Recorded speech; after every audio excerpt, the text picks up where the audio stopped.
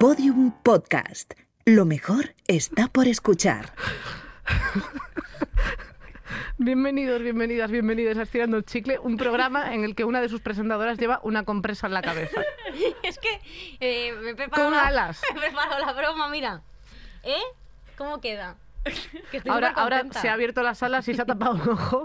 Y al Eh, lado de Juan Muñoz, Sí. que es eh, la nueva imagen de la nueva imagen de una empresa de compresas. Ah, sí, claro. Muy bien. Bueno, No, no, ahora, ahora lo hace. esto no es lo importante.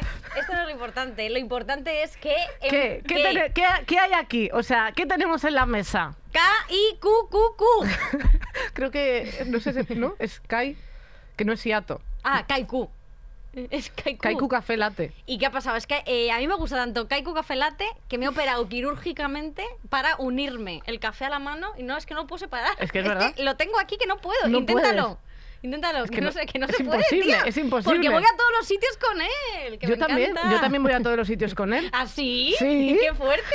¿Y dónde te lo has operado tú? Es que no se puede enseñar. Ah, ¿Por qué no? Está en el Pepe. Ah, bueno, mira. Entonces tengo Eh, como un, ¿sabes? Un service. Pero para beberlo luego es un Me los complicado. cancio. O sea, es que tengo mucha flexibilidad.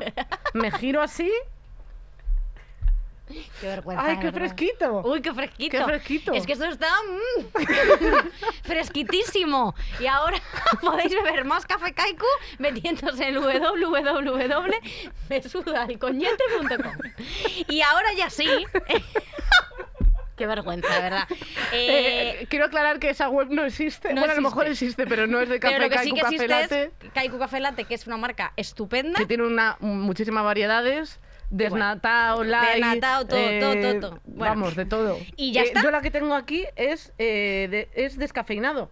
Enséñalo, por favor, para que la Claro, gente es pueda que, verlo. es que es verdad. Bueno, voy a hacer. Igual de ahora se oye como un ruido de, como de pelota de golf, ¿sabes? A ver, a ver, poner ese audio. Espera, Tú, no tú, sé, ¿eh? tú, tú.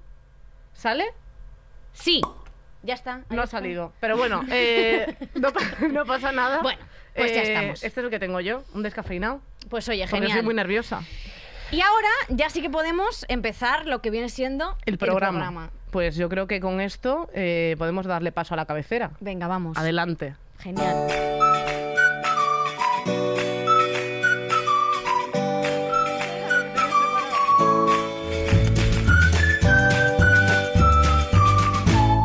Estirando el chicle. Un podcast que acabará, sin duda alguna, con tu paciencia.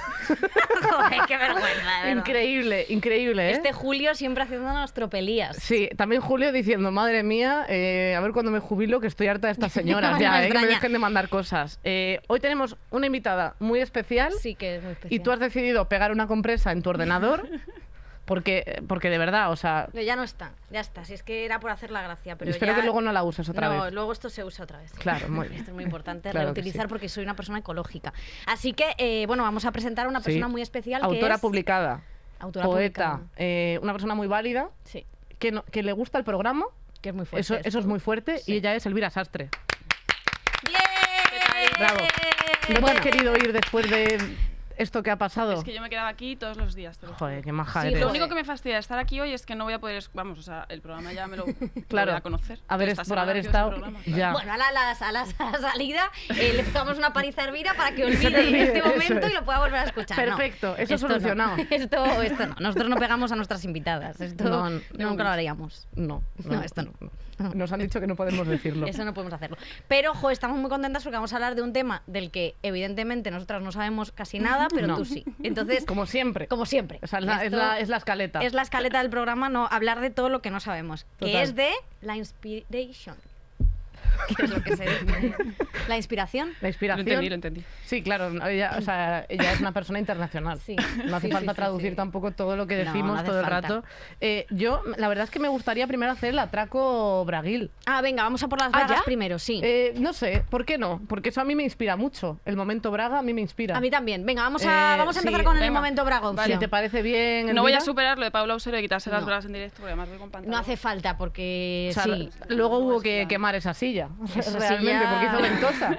Esa silla luego estaba un poco. Casi nos quedamos robarla, ¿no? sin, sin Estaba juicy esa silla. Total. A ver, Bueno, yo os he traído algo sí. Ostras. Ostras, es que tiene- Si eso es tiene un una braga, paquetón. es muy grande. Es una braga grande, sí. Tiene un paquetito. bueno, te- es una para cada una. A Para que ver. las pongáis ahí A ver. personalizadas y luego un regalito también. Escúchame. Eh, os- ostras. Dale, dale, dale. Eh, Busca el- el latido tronchi.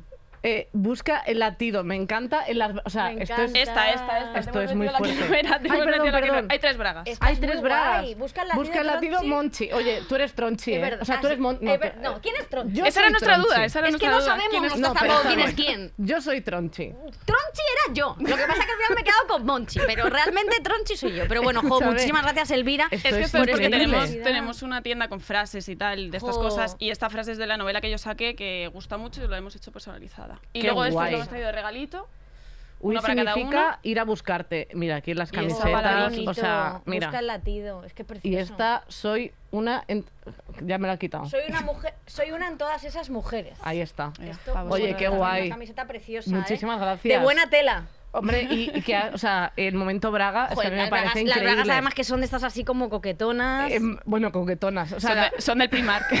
pues son en braga de algodón, eh. yo uso estas, pero en negro. Sí, yo me hace también falta la variedad. Ahora si llevo un Están pantalón bonitas, blanco sí. se va a ver en la zona del Pepe, busca el latido tronchi. Eso me gusta. Sí, busca el latido. Eh, esa, se, Oye, esa jo, también, Elvira. esa se nos ha colado, pero sí. esa. Millones de gracias son preciosas. La podemos poner aquí. La podéis poner, claro. Eh, Sí que esa la podéis poner usar. aquí, esto sí, Hombre, ¿no? ya te digo, busca el latido, además de la pepitilla. Eso, yo sé que tú lo hacías igual tanto en ese sentido. Sí, sí, sí. También. Real, Vale, pues ya está. Oye, tenemos. pues genial. Oye, Eh, pues muchísimas gracias de verdad, ves. Elvira, por esto Eh, es es que y te has me pasado, encanta. ¿eh? Te O has sea- pasado. Sí, es que nunca nos han regalado casi nada. No, no, total. Entonces, que, claro, es que es pero así. realmente eh, camisetón y tal nunca nos han regalado, No, nunca no. nos ha traído nadie. A ver si que aprende la siguiente gente que venga, ¿eh? De verdad, te La lo digo. siguiente yo quiero un pony.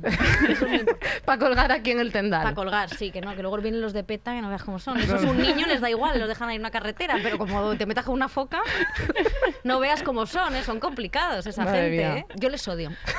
Tengo que decir, Yo odio a todo el mundo ecológico. La inspiración. La inspiración. Tú, eh, ¿Qué te inspira? ¿Qué te inspira? Elvira, Eh, a ver, pregunta difícil para empezar, Sí, ¿eh? sí, Sí, es una pregunta un poco genérica. Luego hablamos de Chelo García Cortés Sí, para... sí, eso me mola, sí. Eso es, para nivelar. Eh, yo creo que eh, a mí me inspira como, es que es como un poco básico, pero las cosas que me pasan. Pero es verdad que cuando empecé me basaba mucho en mis propias experiencias, porque también a lo mejor era más jovencita y era como todo más nuevo. Y según voy creciendo, eh, también me inspiro mucho en las cosas que les pasan a los demás. O de repente, yo qué sé, es que he escrito poemas basados en documentales que he visto que me han emocionado y me han gustado. O, Claro. o yo qué sé, de la situación social, de, mm, no sé, de la familia, de amigos. Es que realmente hay como muchas cosas eh, que están... Porque no sé si tú te inspiras con, el, con cosas que están mm, bien o cosas que te producen... O sea, como depende de qué sentimiento, ¿no? O sea, yo en general me inspira mucho más la- el momento triste. A mí la rabia y el enfado es lo que a Claro. mí me, me- es mi motor. Sí, ya lo sé. ya es lo un sé. poco el motor. Yo, yo creo que el motor para crear cada, cada, cada persona. Yo no me las voy a dar de creativa porque yo, la verdad. que Hombre, pero quiero- tú- quiero tú decirte que al poquito final es escribes, tal. te diré. Sí, pero que es un poco el. Al final, el motor de la comedia principal, yo creo que es un poquito el drama y un poco la ira Sí. y, el, y el enfado, ¿no? Sí. Más que a lo mejor otros sentimientos más, boni- más, más bonitos. Es que yo creo que como que en, en todas esas emociones se juntan muchas cosas. O sea, al final, si tú Sí. estás enfadado, estás enfadado por algo, estás triste por algo y necesitas darle un poco de respuesta de sentido. Si estás Sí. contento, sabes por qué estás contento y ya está, no hay más. Entonces, Claro. yo creo que por eso... Pero tienes que hacer mucha autoexploración para, Sí. es- para, para hacer lo que haces. Quiero Sí. decir que al final yo creo que escribes un poema y te quedas agotada. Sí, la verdad que sí. O, o lloras, o, o sí, sí. O te frustras, o te enfadas, o... Sí.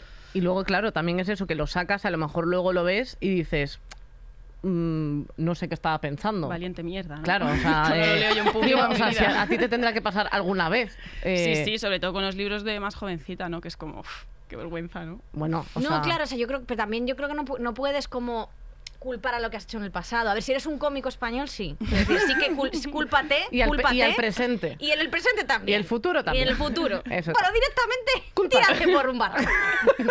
Eh, directamente. Pero si no eres un cómico español, no hace falta que te culpes por lo que has hecho como en el Mm. pasado, porque al final es lo que te ha llevado a llegar hasta donde estás en este momento. Sobre todo si notas la, la mejora. O sea, si tú de repente ves una cosa que, escribí, Hmm. que escribías con 16 años y dices, ah, pues está. O sea, tampoco tiene que ser todo una mierda, pero sí que notas que tu persona evoluciona a la hora de claro, que expresarte. tienes ahí un crecimiento y además Claro. también a nivel personal aprendes, ¿no? O sea, a lo mejor has pasado por ciertas cosas que lo recuerdas al leer un poema que escribiste en ese momento y dices, mira, yo ya pasé por esto, ya aprendí, aquí está el poema que es un poco como Claro. La enseñanza. Que al final te abres mucho también, eh, porque eso a nosotras nos pasa mucho, sobre todo con el podcast en las que contamos toda nuestra vida. O sea, Total. yo expongo a mis amigos, A tus mis padres, a padres, tu novio. a mi tía que era ciega pero en realidad veía. Eso, eh, eso tú sabes que tu madre no le gusta que lo cuentes. Bueno, a mi madre, bueno, pues un besito para mi tía que en el cielo esté. Pero, mm, pero es verdad que como que expones al final, como que eliges contar cosas que puede ser que te perjudiquen. O Mm. de alguna manera te expones a la, a la- a la- a la audiencia o a la gente que te escucha o a la gente que te lee de una forma pues bastante que estás en cueros. Sí, yo- yo sobre todo, y aún creo que cuando haces comedia tienes esa parte en la que dices, bueno, haces broma, la gente no sabe si es verdad Mm. o es mentira y tal, pero sí que cuando cuentas, o sea, yo cuando saqué mi libro, que no tiene nada que ver con el tuyo, Elvira, o sea, mm, solamente es una mención que no quiero, de verdad. No, no, pero, pero ¿sabes qué pasa? Tú cállate. Que cuando saqué el libro tenía cosas que eran, o sea, para mí muy dramáticas. Jo, tía, era tu, era tu vida de verdad. Claro, y era mi vida. Entonces, eh, aunque tenía una parte de coña, tenía mucha parte de verdad. Y entonces, cuando mm, alguien lo lee eh, como intentando hacer broma o algo así, o yo qué sé, o sea, como que me pilla en un momento en el que se pone a leerlo y lee una cosa en la que yo estoy verdaderamente mal, que no tiene ni chiste ni tiene broma, es como. Wow, o sea, me, o sea te te- toca, ¿no? realmente es como Claro. que lo que más te toca y dices, es que no, o sea, no te quiero explicar todo para que entiendas por qué he llegado a este punto, Ya. ¿sabes? Sí, lo que tiene también un poco la poesía, que yo hago mucho hincapié en eso que a veces me preguntan, ¿y esto por qué lo escribiste o en qué te inspiraste? Y yo siempre digo que al final el poema también luego es de quien lo lee. O sea, yo lo puedo haber escrito por algo y a ti te llega por otra cosa y tu historia es igual de válida que la mía. Entonces tampoco hay que entrar ahí a explicar. Pero es verdad que, bueno, pues hay un punto de exposición, si la gente sabe, si no sabe, pero yo es que creo que como los he compartido desde siempre, porque cuando empecé a escribir con 15 años así tenía un blog y siempre los he compartido, tengo como muy interiorizado ese proceso de, de publicarlo. De hecho, es como, como que hasta que no lo publico no siento que he puesto el punto final. Entonces, por esa parte creo que lo llevo bien por ahí. Claro, o sea, ¿a ti no te da miedo que vaya a salir un libro y digas, bueno, me da como respeto que la gente como mire a No, través por- un poco de mí? Sí, no, porque al final como le doy tanto valor a, a lo que me ayuda a escribirlo, que es como no voy a dejar que eso me afecte. Hmm. Y si a alguien le, pues me da un poco más igual. Luego, además, también es verdad que eh, escribes desde los 15 años y cuando publicabas las cosas, luego eh, no te ha pasado alguna vez de. Porque es verdad que luego cada persona le puede dar como la. Como el- eso, el sentimiento que quiera a ese Mm. poema, ¿no? Y le puede llegar de alguna manera o de otra. Pero luego no te lo has encontrado a lo mejor en un montaje con, con unas flores, con un buenos días y un cacho de poema tuyo y has dicho, hombre, igual, o sea, eh, no todos los sentimientos no son iba, ¿no? válidos, puede ser. Por ahí no iba. Sí, alguna vez, ¿no? O sea, sí hay montajes que son curiosos. Es que la gente es un poco... La fuerte, gente es tremenda. Sí, luego lo que sí que me fastidia mucho que me hacen a veces, más antes que ahora, es que me cambiaban el género todo el rato.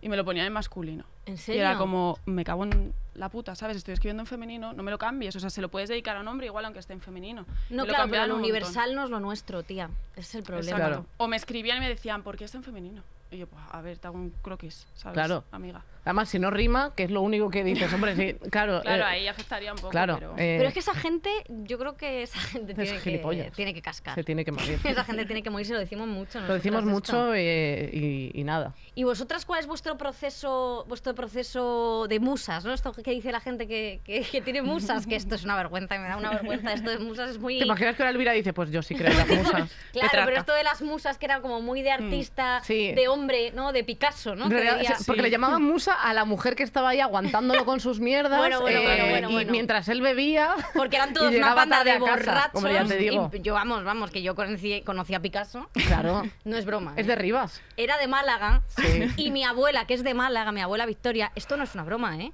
Mi abuela Victoria fue su amante. Vale. Que esto es verdad. Vale. Que... Vete al de luz. bueno, Vete al de luz y lo yo cuentas. hablé con Picasso y me le dije, Sí, por, oye, por teléfono, además. por teléfono, sí. Sí. Pues justo fue por teléfono. Por, sí, Bueno, da por igual. Skype. El, pues Picasso, bueno, un valiente hijo de puta, Picasso. Eh, pero bueno, vamos a. o sea, ¿qué es Eh, ¿tú eso? ¿Crees en las musas? O sea, ¿tienes una musa? Es como, es como un poco clasista, ¿no? O sea, yo recuerdo que cuando empecé a escribir, que era eso, con 15 años, y sí que era la época en la que mm, en el libro de texto te hablaba de las musas, de los poetas y no sé qué. Además es que eran todos como unos cánones de mujer rubia, delgada, ojos azules, no sé qué. Y era como, ese era el, el ideal, ¿no? Claro. Y yo es cierto que la primera vez que yo tuve así como un mega crash fue en el instituto con una profesora mayor, que obviamente eso no fue a ningún sitio, pero sí que caí mucho en la idealización. Claro. de un esa- poco como lo que está ligado con las, claro, lo que está ligado con las musas. Entonces yo empecé a escribir, yo estaba pues eso, empezando a leer poesía, veía esas musas de las que hablaban y tal, y yo pues todo el rato era como, ¿no? Lo veía en ella. Y entonces sí que caí al- muy al principio, eh, a la hora de escribir, en la idealización de la persona a la que estás escribiendo. Ya, Luego ya se me pasó. Ya. Pero es verdad que lo de que, cuando tú quieres creer en algo, o sea, como cuando tú que- te quieres imaginar algo, es como de tú ves la idea de las musas y dices, vale, me cuadra con esto que yo Sí, me sí, estoy sí, imaginando sí, sí, sí, realmente. o sea, es verdad sí, que la idealización es, Vos- es peligrosa. Es chunga. Yo es que eh, yo nunca me he enamorado de un- de un profesor o profesora, eso no me ha pasado, Yo sí. porque claro, yo también como, claro, me refiero que al final yo Bueno. iba a un cole de Opus que era, Pero eran todo monjas. Eran todo opusinas, que no son monjas, que son peores. Ah, bueno, porque si no lo fueran ya sería una, una relación posible. No, pero ¿y eso cómo fue? A mí me interesa esa historia, o sea, eso cómo, cómo lo viviste tú, quiero decir, o sea, el enamorarte de una persona que esto tenía una canción, ese grupo espantoso que se llama Sidecars o Sidoní, que decía soy fan de ti, vete a tomar por culo Sidoní. que y el, el, el, el anuncio, o sea, el anuncio, Sidecars, el, el- no, no, ¿no? no, era Sidoní, Sidecars es el, el hermano del de Pereza, que cantan los dos igual. Eh, pero Y, y ya, y ahí, ahí y está. entonces era el, tra- el videoclip era como que el niño se enamoraba de una profesora. Esto me acuerdo yo de Ah, eso. no. Eh, ¿cómo, lo ¿Cómo fue eso? A mí es que me interesa mucho. El historia. El cotilleo. cotilleo, ¿no? Es que me interesa mucho la niña que se enamora de la Pues es que, pues es que tampoco hay mucho más. O sea, yo de repente. Es que yo recuerdo. Porque era cuando yo empecé a descubrir mi sexualidad. Y entonces yo recuerdo que leí en la Bravo el típico consultorio, ¿no? Que decía una chica, no sé si me, no sé si me gustan las chicas o no. Y entonces eh, le respondían, si tú, si tú tienes una amiga, una buena polla, pues no.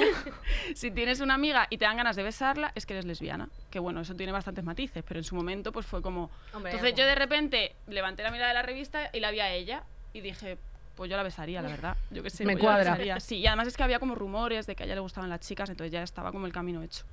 Y entonces ahí empecé pues yo mi movida, mi declive mental totalmente. de Pero años. nunca interactuaste con ella. O sea, Nunca nunca, la llegué a tener de profesora. Un poema para Yo ella. me declaré, yo me declaré. ¿Qué Eso me es lo que yo quería. Sí, sí, sí, sí. con Pero ¿y 16 cómo fue años. esto? Porque yo no podía más, tía. Yo es que ¿Hincaste rodilla? No, pero vamos, poco más. Escribí además un relato que era. Porque ella tenía unos ojos azules, y escribí un relato que iba de unos ojos azules, y era como es que ya no te lo puedo decir de otra manera, ¿sabes? y me declaré, y nada, y se lo dije, y ella, pues. No sé, se rió, pero no en plan me río de ti, sino que se puso así risita nerviosa. Y, y poco más. Poco más. Me dijo, bueno, ya esto te acordará.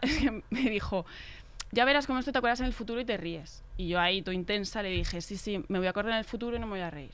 Digo, pero me voy a acordar, porque yo me voy a acordar de ti toda mi vida. O algo así le solté. Qué bonito, Ostras, ¿eh? eh, Es que claro. eh, mira cómo tengo Como esto, una eh. Sí, cosa. sí. Si no tienes pelos. Bueno, joder, pero que mira que la piel de gallinita. Oye, a mí esto me parece súper Es emocionante. muy bonito. Fue, fue sí, y yo es que empecé a escribir por ella, entonces escribí un montón porque necesitaba desahogarme, porque Jo, a qué ella guay. no podía tener nada con ella, no se lo podía decir tampoco en condiciones, entonces yo ahí caí en esa idealización porque en el fondo tampoco la conocía tanto, pero escribía, escribía, escribía, así empezó todo. A mí esto me parece muy interesante porque sí que es verdad que yo cuando estoy bien anímicamente es cuando peor escribo. Entonces yo a veces busco un poco mi Me propio tormento. Eh, Es ya, decir- No hace falta buscar mucho. ¿Sabes? O sea, ya, me refiero, pero dándole una vuelta, yo es Sí. verdad que eh, eh, intento, est- o sea, estar mal para mí a nivel creativo, a nivel de ganar, sobre todo de ganar euros. es decir, Hombre. eh, vamos a poner las cosas como son. Claro. Yo necesito estar mal. Entonces a veces es como que busco el conflicto, busco la pelea. Pero para la Estoy como comedia- una perra sarnosa buscando morder a Susi en, en en la rodilla. Porque yo, sabes, para la comedia, tía, tú lo sabes que yo estoy siempre como. genero mucho, mucho odio. Sí, pero a mí me pasa, por ejemplo, que yo necesito como un poco de equilibrio. O sea, igual que para escribir algo más dramático necesito estar mal. Sí. Y de hecho, pues desde hace unos años me cuesta mucho escribir como. eh, o sea, solo escribo en momentos en los que estoy mal. Entonces voy aprovechando y voy haciendo Sí. ahí un documento eh. Gigante de cosas en los que estoy mal. Pero como no es mi estado constante, como en otros momentos sí era, me cuesta esa parte de. de, pues más intensa, me cuesta mucho más Claro. alimentar esa parte. Pero para la comedia necesito estar un poco bien. Porque si estoy mal, también es verdad que eso pasa mucho cuando vas a ver, eh, o sea, pues vas a ver monólogos o no sé qué y ves eh, cuánta parte hay de verdad en eso. Tú, Elvira, sientes, o sea, ¿te pasa eso de que tienes que estar mal para poder como estar más inspirada, por así decirlo, eh? Sí, a ver, eh, creo que depende un poco, porque al final como yo toco también varias cosas, o sea, para el tema de la poesía, pero luego también está la narrativa, que es Sí. distinto, o si escribo algún artículo. em, yo como soy muy... Soy muy Géminis, entonces soy como tengo parte emocional y parte racional súper Sí. desarrolladas las dos y entonces tengo ahí como una pelea todo el rato. Pero tiendo a organizarme mucho mentalmente porque si no es un caos. Entonces es verdad que eh, yo soy muy sensible, o sea, yo todos los días lloro viendo el telediario, todos los días, pues en cuanto me pone una musiquita, un anuncio, yo ya estoy llorando. Esas cosas intento, veo hacia dónde las puedo dirigir. Y digo, bueno, ¿qué puedo hacer con esto que tengo ahora o esto que siento? ¿Lo llevo a un poema, lo llevo a un artículo, lo llevo a una historia de una novela o qué hago con ello? Entonces, Monetizar las lágrimas. Bueno, exacto, eso, ¿eh? Sí, sí, sí, Esto total. lo recomendamos mucho. Muchísimo. Muchísimo. buen- A sí, todos sí, sí, nuestros un consejo oyentes. súper Hombre, importante. llorar para... Es tontería. Hay que saber para dónde va eso. Eso ¿no? es, totalmente. No, claro, pero que al final es un poco. Pero poca broma con ese Eso tema, lo ¿eh? hablábamos el otro día, que era como un poco, al final, capitalizar nuestros sentimientos. Ujú. O sea, que era un poco como. Que al final, como además, como este mundo va tan rápido que las formas de consumo han cambiado tanto que al final tú sacas un poema y la gente lo lee al instante eh, pues en, en- en- en Instagram y, y- Mm. y sacas un libro y la gente se lo lee al momento y quiere más y quiere más y la producción es tan grande que al final yo creo que nos hacemos un poco de daño con tanta producción, ¿no? Quiero decir. Sí, claro, eso es algo que hay que gestionar porque la presión es gorda. Y es eso lo que tú dices. Yo me acuerdo, porque yo, yo con los poemas es distinto porque yo los voy escribiendo cuando me sale y cuando veo que tengo un libro lo saco y si no escribo un poema en un año me da igual. Pero por ejemplo con la novela que estuve cuatro años y la saqué ya a los dos días. Ya me la he leído, ¿cuándo la siguiente? Y es Claro. como tronco. Claro. Ah, Es que eso es lo que pasa muchas veces, que es eso, que sacas un libro, sacas lo que sea y la gente ya, ya te pregunta por el siguiente y es como de, es que Claro. es físicamente imposible. Y también a veces, o sea, yo tengo suerte en esa parte porque es verdad que, que todas las editoriales con las que trabajo no me ponen ningún tipo de prisa, ni de fecha, ni nada.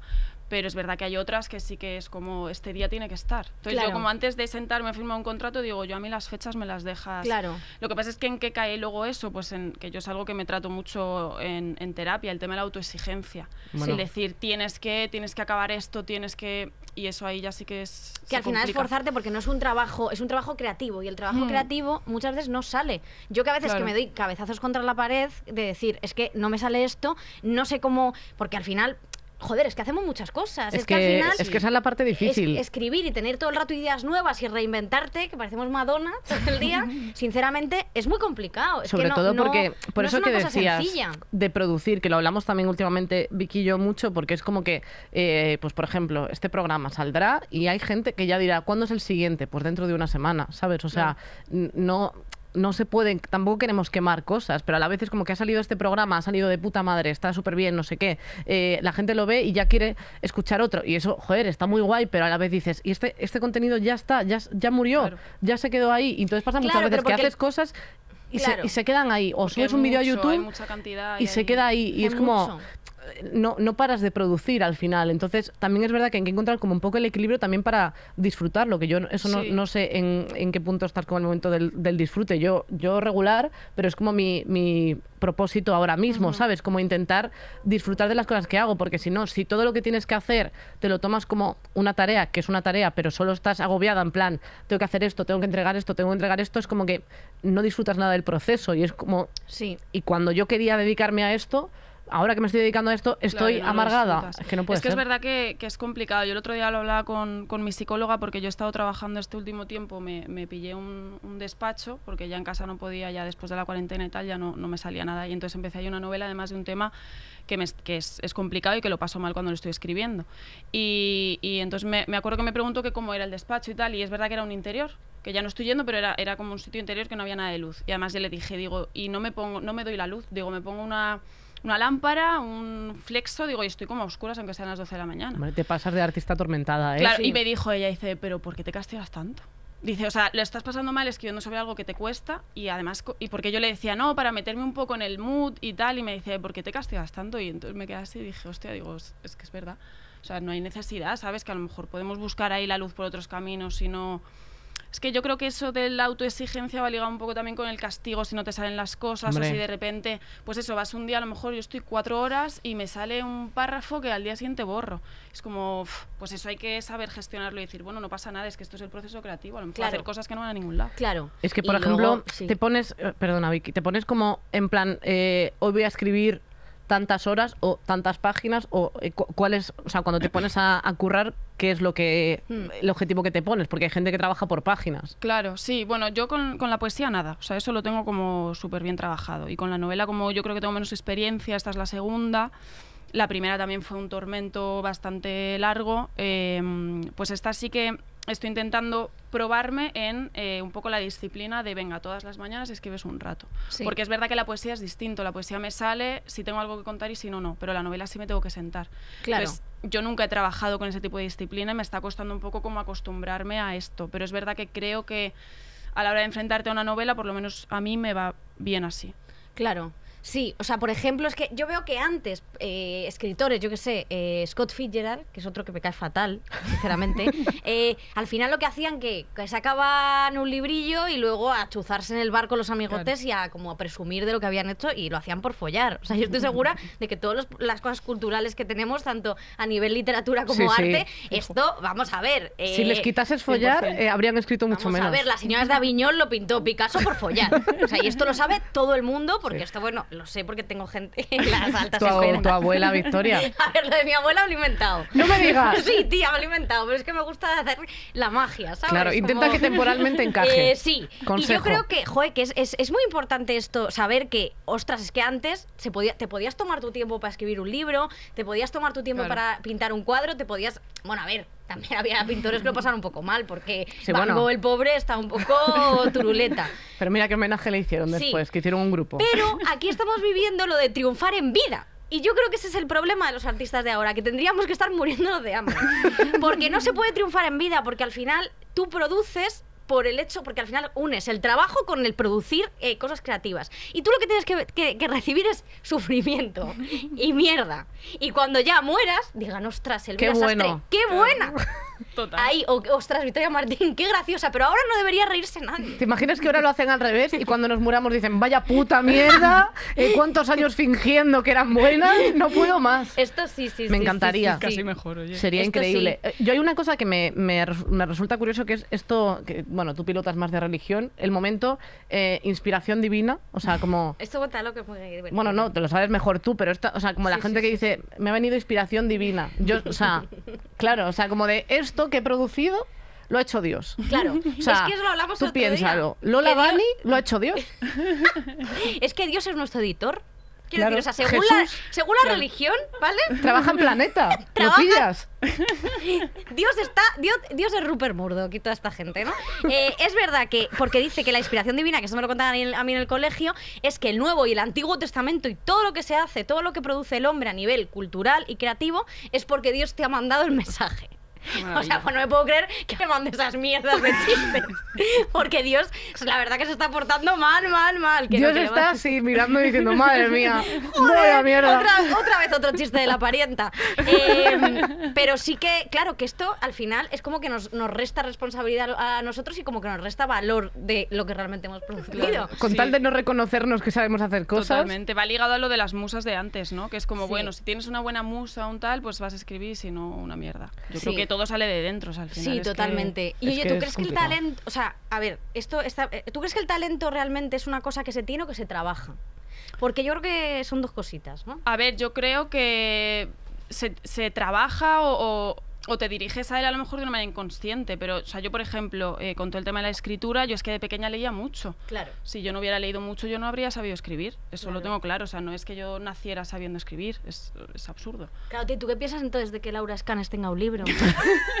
es que esto me interesa por gente No. que realmente escribís bien y que os, os, os, joder, que hacéis cosas que tienen val- valor. Mm. ¿Nos da rabia un poco esto? Yo no me lo he leído. Eh, Pues yo sí. Y es ¿qué un tal? mojón. Es un mojón. Pero tampoco les quita público, ¿no? O sea, yo No, creo pero- que. o sea, no, yo creo que, que, a ver, hay ciertos, o sea, siempre hay, hay, no, no sé si decir calidad o no dentro de la literatura, pero es cierto que yo me enfadé mucho con este tema porque de repente todo el mundo empezaba a sacar libros, Hombre, libros de tía. mierda y era como, tío, o sea, no, No vale ser. porque luego estás al lado del que te toca con el apellido y no, o sea, no puede ser porque la gente al final lo confunde. Pero es cierto también que luego te das cuenta que hay mucha gente que a lo mejor no accedería a la lectura si no fuera a través de esos libros. Que puede que alguno se quede en ese libro y ya está, puede ser, pero seguramente haya muchos otros que digan, ah, esto me ha gustado, voy a buscar algo parecido, voy a no sé qué, y al final acaben leyendo a gente y se formen así. Lo que no podemos pretender tampoco es que los chavales con 15 años lean a, yo que sé, a Benedetti y lo entiendan. Bueno, a lo mejor a Benedetti sí lo entienden, pero yo qué sé, cuando nos enseñan en el instituto a Lope de Vega. todas Sí, estas sí, sí. Lope de Vega, que anda que no escribió, sí que tiene... Yo es que no lo he vuelto a leer, es que Sí. tenía un rechazo absoluto porque no Claro, entendía una total. mierda. Pues Es que- ese, es- es que eso es que a más de mil mujeres, decía, como Julio bueno. Iglesias. Bueno.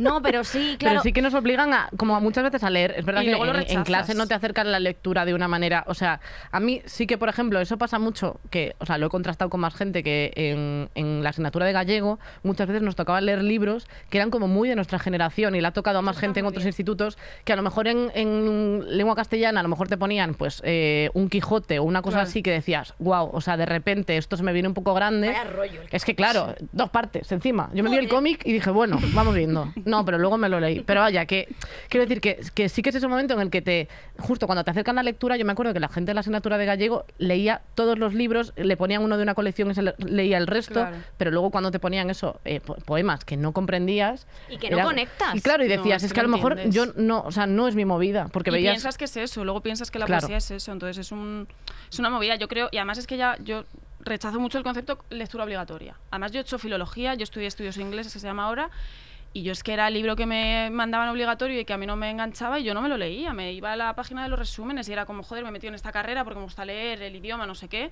y no, no la disfruté. Porque Claro. es que todo obligatorio y, es, y yo además soy una persona que si empieza un libro y en la primera página no me gusta, lo dejo Yo porque también. hay tantos libros que para qué voy a estar... Sí, pero hay veces que con sentido. algunos como que te obligas, ¿no? A mí me pasó Sí. un poco, yo qué sé, por ejemplo, Rayuela, que es un libro que es que te tienes que leer porque Cortázar no sé qué, pues mira, a mí Cortázar, de verdad, me parece ese libro infecto absolutamente. O sea, no ente- o sea, que lo puedes empezar de varios sitios, pues empiézalo tú, Cortázar, que un brazas. Y es que no conecto, porque al final tienes que ver, o sea, con lo que tú conectes. Y a veces yo me obligo a leerme libros por el hecho de que te Porque los son como que- libros que te tienes que leer. claro. Sí, en vez de decirte, pues yo qué sé, o sea, si tú vas a una clase de primero de la ESO y llevas, qué sé, a Harry Potter, la gente va a leer a Harry Potter. Claro, porque con- la gente pues, pues le va, va a conectar, entretener. pero si les metes ahí algo que yo qué sé, pues a mí es un poco lo que me pasó. Yo descubrí que me gustaba la lectura fuera de clase, básicamente, Ya. desde pequeña. Entonces, Total. Claro, yo lo de, claro, yo lo de, pero ya llegar como que se hagan productos culturales de una calidad tan infame, a mí sinceramente sí que me molesta. O sea, quiero decir, no que me moleste, pero tío, mm, pues que el libro de M.C. Marta Carriedo esté, eh, Así no que es funciona lo una de las entrevista siglas. a ella misma. Tiene un libro ella. Es una entrevista a ella misma, prólogo de Paula Echevarría, ¿eh? que eso es como si te escribe el, prólogo eh, Mario Vargas, o sea, bueno, otro, que vamos a callarnos. Pero sí que es verdad que, mm, que joder, que al final, pues, oye, mm, es que es un intrusismo Pero es que a mí no me parece. increíble. Yo, yo, o sea, mi opinión que, aunque no los consuma, me parece que es como que acerca la lectura y luego a la vez que no creo que se solapen Mm, autores en en ese sentido. Y que al final, o sea, eh, siendo una cosa que está regular, es un, o sea, ellos lo, muchas veces la gente lo lleva como un tipo de merchandising. Quiero Sí, decir. es que es un eh, merchant, claro, sí. o sea, es como de yo me quiero comprar el libro, me lo leo y luego si hace una firma, pues así conozco a mi ídolo que no me va a firmar, sino, ¿sabes? Claro. O sea, por sacar algo que tampoco me parece muy allá, pero como Eso es no creo que se mercantilizar. solape. El problema es Total, cuando claro. luego, yo me, pa- me parece más como cuando te agrupan en cosas. O sea, por Sí, ejemplo, quiero decir, yo con mi libro me pusieron en categoría youtuber. Bueno, es verdad, soy youtuber, Con pero el de no el de nada que Gref. Claro, y yo es como lo siento mucho, o sea, eh, mm, no me parece el mismo tipo de libro, sobre todo porque el mío tenía letras. Entonces, que ponen- o sea, ponme en infantil, ponme con Dora la exploradora, me vale. O sea, pero claro, el momento categorizar sí que Sí. es como más de, de decir, creo que no es así, pero bueno, mm, Es que siempre- la gente tiene mucha tendencia a intentar etiquetar. Entonces Sí. eso es complicado Sí. lidiarse. A mí me ha pasado también y ahí te da rabia, pero luego dices, bueno, mira, pues ya está. Es que claro, no puedes tal. Bueno, Oye, eh, yo tengo pregunta. Eh, ¿Vuestro outfit para crear? O sea, ¿sois como, no sé, tenéis como manías a la hora de ponerte a currar y demás? Yo chandalera. Yo también. Sí, ropa. O sea, es que soy muy- ya era muy fan de la. Yo es que era muy fan ya de la ropa de estar por casa, pero yo era en plan, yo qué sé, pues de camisas rotas, agujeritos, ¿no? Mm, La mancha de la cena a lo mejor pues ahí Claro, se queda. Ahí está, para darle tormento un claro, poco al pero momento. cuando pasó ya, cuando estuvimos en el confinamiento, eh, mi chica me cogió un día y me dijo, basta ya, o sea, Lávate. arréglate. Claro, arréglate. Además es que yo en el confinamiento dije, yo voy a aprovechar para hacer esto que se hace con el pelo, de no lavártelo, para que luego esté más limpio. Yo estaba como una semana entera sin lavarme el pelo, que es que eso era asqueroso. Era y ella me miraba así, es que desde tres metros desde la casa como diciendo, es que eres repulsiva. y Dan entonces fe. ya ahí, claro, Dan fe. Sí, estabas, sí, un poco, sí. estabas un poco sucia. un poco sucia, sí, Un pero es que me da exactamente igual, la verdad. Pues Entonces ahí ya sí que, pues, eh, como vi que lo de estar en casa iba para largo, pues ya dije, bueno, no me voy a comprar ropa para salir, pues me voy a comprar ropa mona para estar por casa. Y ahí he cambiado un pelín. Sí, de vez en cuando caigo en... de- Sí, entonces yo cuando, traba- cuando trabajo en casa trabajo así. Y cuando trabajo fuera, pues me voy también lo más cómoda posible. O sea, yo esas cosas no les Yo doy. es que me arreglo mucho para trabajar. ¿Pero qué dices Yo tú? me pongo, yo me pisto como una señora de los años 60. Sí, te pones una ¿vale? peluca. De esta que está esperando a su marido que está haciendo el pollo. Me, me chuzo bien por la mañana. Es muy importante beber alcohol por la mañana para ser un artista. Hombre, claro. Y luego me rebozo como una croqueta en el sofá con un vestido. ¿En pan rallado? en pan rallado. Y luego ya pues me abro el, me abro el iMac, el, el Mac este, como se llame, y ya me pongo tiki tiki tiki tiki tiki con el labio pintado y todo y fumándome un pitillo así con una cosa larga. Muy bien, Esto es lo que suelo hacer. muy bien. Y luego maravilla. pues ya viene mi marido y le doy un masaje. Di la verdad, eh, no, no te quitas ni el pijama. No me queda el pijama. o sea, la braga es... mm, ma- Como el papel de la Magdalena. Modo Magdalena. Modo la bella EASO. Sí. Y sí, o sea, yo la verdad que es que la verdad que mi proceso creativo es un poco, pero sé, pero es tóxico, ¿eh? Me, me siento mal. No me siento bien siendo una guarra. Quiero escapar de mí. Pero yo, por ejemplo, sí que, ya no me acuerdo, porque es que antes de la cuarentena yo había empezado a trabajar en casa pues desde septiembre, octubre o algo así, entonces ya había cogido un poco rutina de estar en casa, entonces ya había experimentado como todos estos procesos de voy en pijama, no me siento bien en pijama, eh, para marcar un poco la diferencia de día y tal. Entonces yo, por ejemplo, me tengo que duchar todos los días, en la cuarentena tengo que reconocer... Pues mira, lo de ducharse todos los días es una cosa que no hace falta. Eso es malo, ¿eh? eso Eh, es malo para el pH. es malo para el pH. Lo siento, o sea, le- lo siento mucho por lavarme el coño, chicas. Eh, de verdad, eh, si no os lo laváis vosotras, Bueno, yo, yo respeto, Yo de sí me verdad. lo lavo. Pero sí que es verdad que en cuarentena tuvimos ahí un poco de challenge. Eh, Lara Susillo, de no ¿Quién era la lavarse. más guarra? Bueno, Susi, Susi tú estabas en la movida de no lavarte. ¿Cómo Susi que no? Dice que no. Yo me lavaba, ¿eh? No, perdona. Perdona, pero yo Pero se echaba. lavaba eh, Eh, perdona, pero Antonia, que que, más- te mojas que- el pelo y te estás colonia. No, no, la que más duraba aquí sin ducharse ¿Quién es? está en esta sala. Hombre, claro. Qué guarra. Y no soy ¿Yo? yo. Eres tú. Eres tú. No, no, Bueno, Eres yo tú. no Hombre, ya te digo. Eh, yo, bueno, eso, yo sí que me. O sea, ahora me, mi cosa es como ducharme y ponerme un chándal. Como Porque si me tal. pongo un. pi- O sea, pero vaquero no. O sea, por ejemplo, es que no le veo sentido a estar en vaqueros en casa. Pero ¿sabes cuál es el truco que yo hago? Yo me pongo, o sea, me ducho, me echo crema, entonces me pongo la ropa de estar por casa y esa ropa huele bien tres días por lo menos. Claro. Y entonces ya con eso tiras sin Te lavarte ni la, nada. La nivea, la nivea Estáis haciendo mucho por el planeta. Sí, es muy importante no ducharse. Y luego, a mí lo que me da mucho asco es la gente que, para como inspirarse, te dice cosas como que se va a este retiro de yoga a estar como callados. No, esta gente despreciable. O sea, que me parece... No, esta gente que... hay- hay- a mí hay una persona, no voy a decir el nombre, que me dijo, y esto os lo juro, os lo juro, Nacho sabe quién es esta persona, esto os juro que es verdad, me dijo, para inspirarme, luego te digo quién es, me he ido a, a un sitio de estos que estás callada de yoga. Esta persona. Callada de yoga. Ese- esa, esa No, postura. como estos sitios de retiro que te dicen, te ponen una bata y te dicen, bueno, venga, pues ahora estar en silencio, no Sí. podemos hablar, meditación. Como en Fleabag. Vale, pues volvió, como en Fleabag, pues, mm, pero no era Phoebe Waller-Bridge. Eh, pero volvió y esta persona sigue, sigue escribiendo unos ñordos que digo, pues qué japa, que te has Tampoco es dinero. mágico. Hombre, por eso te digo que mucha inspiración, pero luego también hay que tener un poco una cosa que se llama talento. Pero fíjate que el momento eh, tranquilidad, nunca, siempre tengo como ese sueño de irme, o sea, de que Sí. algún día nos cojan una serie para hacerla. Eso, es que ese sueño lo tengo, pero luego como irnos a una casa a escribir ahí en el campo y Como no sé idílico. qué, todo idílico y yo ahí. escribiendo, que eso lo veo a veces que guionistas de, de plataforma bien pagados van a- por ahí al, al monte a escribir y no sé qué, yo decía, se imagínate van a drogar, ¿eh? No Bueno, sé qué tú pero mira, que el monte pues más agradable todavía, claro. Pero me gusta, prefiero más eso, te diré, que el momento tormento y oscuridad, que eso también lo veo mucho y tampoco me gusta. O sea, ese momento de bucle de gente que Sí, sale sí, mucho, sí. que no duerme, que bebe, no sé Mm. qué. O sea, ya llega un punto en el que es como de, te estás haciendo un microteatro de atormentado que no sí, puede además ser. que eso ya es, un- Sí. es una postura, ¿no? ¿Tú O sea, usas el, algún, o sea, en plan el- lo que es la sustancia alcohólica para decir, venga, me escribo cuatro poemas así chuzadita? No, no, para escribir no, pero a veces para ir, yo que sé, a- o sea, para ir a recitales sí, del tirón. Me pimplo la botella de vino antes de subir, porque una vez me pasé un poco. En ¿Qué pasó? Galicia ¿Y qué fue, pasó? en Santiago. Es que pues, ese es el problema. Acabé haciendo un meeting, yo no sé, no sé qué, no sé qué elecciones había, acabé haciendo un meeting de yo que sé. Pensaste que eras eh, Feijó de repente y dijiste, sí, bueno, sí, sí, esta bueno, gente. de locos. Eh, pero fue guay, la verdad. Pero sí que me tomo mis copitas, además, en plan pumba, pumba. Pero aparte un recital es una cosa importante seria. eso, ¿eh? Sí, claro, por eso. Entonces, claro, tú estás ahí leyendo solemnemente y eso, por ejemplo, te, cuesta por el momento de hablar en público, por el momento de, joder, encima voy a contarles cosas que he escrito yo que me vienen de sitios. Mm, no, o sea, ahí No, o sea, yo a mí al principio es verdad que yo soy muy tímida, entonces me da mucha vergüenza salir, no sé qué, era típico que me temblaba la mano cuando tenía el, el papel, pero es verdad que Claro. Mm. como siempre lo he mostrado, la gente en ese sentido ha sido, o sea, como que me han ido ayudando un poco también, Que ¿no? es me decían, la sí, es sí, sí, sí, yo ahí tengo mucha suerte, la verdad. Me decían tal, intenta mm, mirar más a la gente, me decían un par de cosas me dijeron que dije, venga, tal, porque esto parece que va a ir para largo, entonces vamos a hacerlo bien. Y ahora lo, lo disfruto. Y es verdad que a lo mejor hay mogollón de peña afuera y yo estoy contando mis mierdas, pero, pero es que hay una energía de que es que yo creo que cualquier cosa que les diga les va a gustar. Entonces eso Sí, sí, facilita sí. mucho la Qué movida. guay. Esto nos Sí. pasa a nosotras también, que a veces decimos unas gilipolleces. Sí, sí, sí. Sobre todo yo. Bueno, un poco o sea, en general. Bueno. O sea, realmente los shows nos pasa. Yo lo que quería... Sí, dime, dime. No, que tú, eh, el, el el momento ingerir eh, alcohol eh, mientras o antes de trabajar, yo sé que hoy, bien chuzadita, pues no. vengo, Sé hoy que no. vengo sobria. Sé por que eso no. está quedando mi Sí, parte tenemos poco- un contador. Tenemos un contador. Mira, yo soy una persona que... Mira, voy a reconocerlo.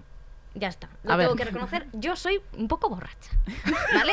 Pero ¿sabes lo que pasa? Que antes se veía, pues como toda esta gente, como todos estos, yo qué sé, todos estos... eh, Kubrick, por ejemplo, ¿vale? Kubrick es una persona que seguramente se bebería sus buenos tal para hacer sus películas y sus cosas. Lo que pasa que antes se veía bien como al típico tío borracho y tal, pero que te pones a una mujer y dices, joder, pues, pues, Mm. pues que parece como a una cosa peor, pero que yo tengo el mismo derecho a beberme la botella de whisky. Totalmente. Y ahora tú. también se ve como bien para los tíos. Efectivamente, Hombre, claro, claro, claro, ¿cómo- claro. cómo no? Atormentado con su whisky en la barra. Eh, Es como- que eso es no ¿cómo era más, este ¿eh? señor? ¿Cómo está este señor que lo tenía por aquí apuntado? Bukowski. El Bukowski este claro. señor. Por favor, Borracho. córtese las uñas de los pies. Porque tanto atormentado, tanto atormentado que al final, pues bueno, que Se es nos una olvida. Pero porque Yo- eso se ha romantizado mucho. se ha romantizado el momento el- tormento. Se ha romantizado esto, el, el- Ramantizado. se ha Ramón García, eh, las cosas de como esta cosa como romántica de, de esto, de, de, de escribir, De la tener muchas amantes, sí. la destrucción. de solo, no, te voy a hacer daño, en Sí, plan, no estés conmigo porque te voy a hacer solo, daño. No me quieras salvar. Bueno, bueno, pero esto, y esto los, Los escritores echaba a un fatal, hoyo. Pero vamos, los cantantes, esos Bueno. son los peores. Bueno, bueno. Te sacan la guitarra esa y tú dices, mira, mira Dani Martín, por ejemplo. ¿De No, qué va con este Dani tío? Martín no. Tío, ¿de qué va esa persona? Con Dani Martín de no. Dani Martín M. El Tío, único hetero que tolero. Pero por favor, es muy 16 lindo. añitos, que tienes 200. ¡Pasa página! Por favor, pasa página. Has de hacerlo. ¡Eres viejo! No puede seguir esto así, no puede ser. Dani Martín, por Dios. Con Dani Martín no. Pues mira, con Dani Martín sí, sí, sí. No puedo, tío. ¿Qué, qué hacéis con vuestras vidas? ¿Qué hace? ¡Calamaro! ¡Calamaro! Hombre, Calamaro está ya que lo tienen que, pues, que que rescatar con una pala. Pues que les despejen del semen ese que tiene Calamaro y que le lleven a su casa. Bueno, mira, paso. Eh, Por yo- eso quiero hablar del ego. Claro, que es eso es lo que quería yo comentar. ¿Tú cómo Pues gestionas tu ego? Eh, ¿Cómo estás nerviosa? ¿Estás bien? Respira, no, que es respira. que me- 16 añitos fiera, manda a Yo cojones. es que Dani Martín, el cantor loco, ha sido mi vida. Eh, todos mis poemas eh, ¿Lo con nombra? rima consonante se lo debo a él. Así que yo no puedo decir nada malo. Rimar poco con loco. Es que eso es buenísimo. Al no se le ocurrió. yo el piercing en la ceja con unos alicates, pero sí. ¡yum! Bueno, eh, niñato aquí. Niñato, ¿tú qué? ¿Qué dices? Venga, señor. Tómese un El ego, tonic. Victoria. El ego, por favor, que ¿cómo lo gestionas, Elvira? Voy, voy. Pero no te enfades con la invitada. No, que con Elvira no, que Elvira me cae bien, no como tú. Venga. Eh, el ego que como... Ah, bueno. Esto es tela. Eh, yo ahí, o sea, he tenido mucha facilidad porque, bueno, lo que decía antes de la timidez, que a mí me ha salvado de todo. O sea, a mí no me gusta ser el centro de atención, que esté todo el mundo pendiente. De hecho, es algo que también me he tenido que tratar porque tuve un momento de, de mi vida profesional en la que no estaba disfrutando de lo que hacía porque me veía como de todo el rato mucha gente pendiente y era como Abrumada. dejarme. Claro, sí, en verdad yo es que yo escribo en mi casa, no, no tengo necesidad de hacer nada más. Pero bueno, va también acompañado al trabajo. Pero es verdad que, mm, que desde muy pequeña, o sea, yo en, todo esto empecé con mi amiga Andrea Balbuena, que también es poeta, y, y entonces cuando me empezaron a mí a pasar cosas, ella eh, desde el día uno me decía una frase que a mí se me ha quedado aquí, que era cuando veía que yo a lo mejor me iba un poco para arriba y me decía, recuerda que no eres nadie. Pumba, y recuerda que, niña, recuerda que no eres nadie. Entonces yo eso era como, no voy a decir nada, aunque lo piense, porque es que me, me va a caer. Y al Sí. final de tanto tal, decía, coño, si es que es verdad, es que yo no soy absolutamente nadie. Entonces es algo que como lo he estado escuchando desde muy pequeña y toda la gente de la que me he rodeado ha sido así, en mi familia también es como que pues todos sí me siguen mucho, me vienen a verme tal, pero es como un, te- un tema normal, pues no, me, no he tenido esa necesidad de, de, de crecerme, ¿no? Y si en algún momento me, me pasa, me, alguien me devuelve a la realidad de un Es manotazo. que el entorno ayuda mucho y eso Sí. que tú, o sea, hay que decir una cosa, que la poesía pues puede ser una cosa como muy íntima, que parece como una cosa nicho, pero tú te haces a veces unas giras que eso Sí. es de, de rockstar. Sí, lo que pasa es que es, es muy complicado librarse también de la inseguridad. Por mucho que llenes y por mucho que tal. O sea, yo cada vez que saco un libro que es algo tal, estoy casi en pánico de decir, a ver, Claro. a ver por dónde me vienen ahora. claro. Entonces, eso también evita también que Sí. No es, muy, no es la manera correcta de, no te- de gestionar tu ego, pero bueno, ayuda. Claro. Ya, es, es que es, es verdad pánico. que el, el pánico y el miedo ayudan mucho a no tener ego. Pánico y como Lo recomendamos. de, los de Hércules, pánico y no sé Sí, qué se llamaban las dos sí. ratas esas que somos Los, nosotras. tronchi, los tronchimonchi de Hércules. Pánico y pena, ¿no? Sí, algo así. que somos pánico y pena. Bueno, lo del ego. ¿Quién es quién? Yo soy pánico, tú eres Yo soy pena. pena, O sea, total. bueno, y tú eres más blanda que la mierda de Sí, pavo. total, es verdad. Pero vosotras dos que sois muy sensibles, yo os veo que sois mucho más sensibles que a lo mejor lo que puedo ser yo, que yo estoy Eh. hecha una corteza un poco más de corteza. Pero eh, De cerdo. terrestre. el ego para mí, yo creo que hay una cosa, porque dicen que el ego va unido a la inseguridad, que la gente que es- tiene muy poca autoestima tiene más ego, y yo creo que es mentira. Yo también. Creo que el ego... em, Va unido sobre todo a que muchísima O sea, yo creo que puedes permitirte tener bastante ego si el talento está equiparado. Yo lo que veo es que hay mucha gente que tiene mucho ego y el talento se queda un poco por debajo. Y ahí es cuando es el problema porque ahí haces un ridículo terrible. Porque hay un vacío. Porque hay un vacío que eso hay que rellenarlo nota, con, además. con Sí, algo. claro. Con esmegma, o lo que Lo se que se rellene. pueda, sí. Muchas veces se ve, incluso sin, sin tampoco profundizar, que lo hemos hablado en algún otro podcast, el momento cantantes, que hay un montón de cantantes que son maravillosos, que componen súper guay y tal, pero luego hay otros que ni siquiera componen, por ejemplo, y que su voz es justísima. ¿Por qué hay un montón de gente que se puede imitar fácilmente eh, la voz? Porque Claro. tienen un registro vocal mínimo. Las mujeres que salen, tío, todas tienen un vozarrón que flipas. O sea, mm, te vas a encontrar a pocas tías triunfando la música o petándolo que su registro vocal sea mínimo. Entonces, es una exigencia que digo, por ejemplo, eso, porque es como más visible, pero es que pasa todo el rato. Bueno, el ego de un hombre es que es una cosa desmedida, Claro, ocupa si no- más que el propio planeta. Claro, que no no, cabemos, cabemos, todos no aquí cabemos. de todo el ego, de todos los egos que hay, y además desmedidos y una forma que es que son unos ridículos que me encantaría que se viesen desde fuera y viesen lo que, lo que Bueno, hay. poquito a ¿Tú te has encontrado con algún escritor que digas, esta persona, ¿cómo me está diciendo esto? Sí, yo creo que el mundo de la literatura está plagado. Bueno, el mundo está plagado y el mundo de la literatura hay, pues eso. Escandaloso. se- y más siendo, además, aparte de mujer, joven, porque Sí, empezaste bueno, muy claro. pronto. Sí, sí, o sea, yo siempre era el mujer y joven y tal, como que, o sea, como una parte te señalan eso, pero también eso te relega a otro sitio en el que Sí. tú no puedes entrar porque, bueno, tú eres mujer y joven, te va muy bien como mujer y joven, ya como lo demás no.